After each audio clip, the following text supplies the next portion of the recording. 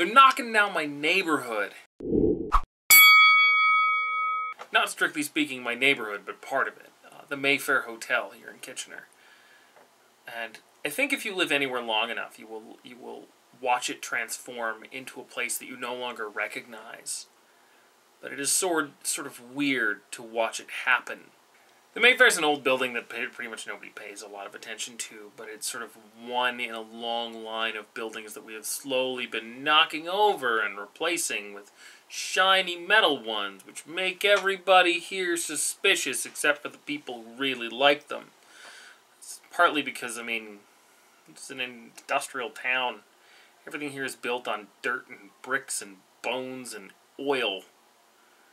And I sort of like it that way. And now we're we're really pushing hard to become this tech center, and we're doing so often by neglecting arts, culture, the people who actually live here. Uh, and I say this as somebody who works in that burgeoning tech industry. It's a little weird and worrisome.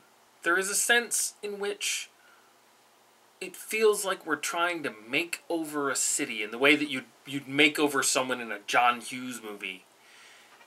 And that in order to make any kind of progress, you have to erase and be ashamed of the past. I'm not trying to paint a glowing picture of downtown. We've got our more than our fair share of empty storefronts.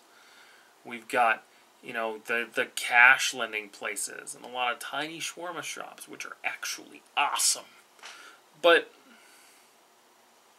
it's home. And every little sort of bit of it is what helps nail down who we are, especially people who've been here for a long time. So it's hard to explain to people why losing one building matters because they're like, no, no, it's just one building. It was one building on one corner. But when you've been here long enough, it's just one more building. It's one more piece of a city that you're not going to recognize. And I think more importantly, especially with the issues down that we're facing with gentrification down here, it's one more piece of the city that isn't for you. It's a place where you're not welcome. We have a lot of low income people down here. Hell, I grew up one of them. And now that we're replacing that with, you know, condos that go for hundreds of thousands of dollars, there's nowhere for them to go. We're just sort of erasing their existence little bit by little bit.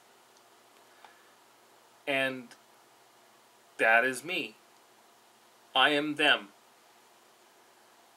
And so when I see those things go, I feel part of me go.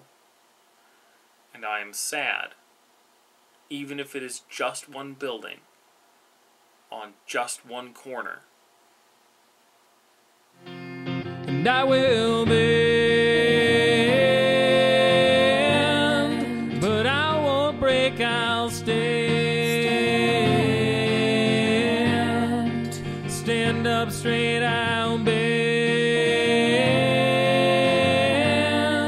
but I won't break,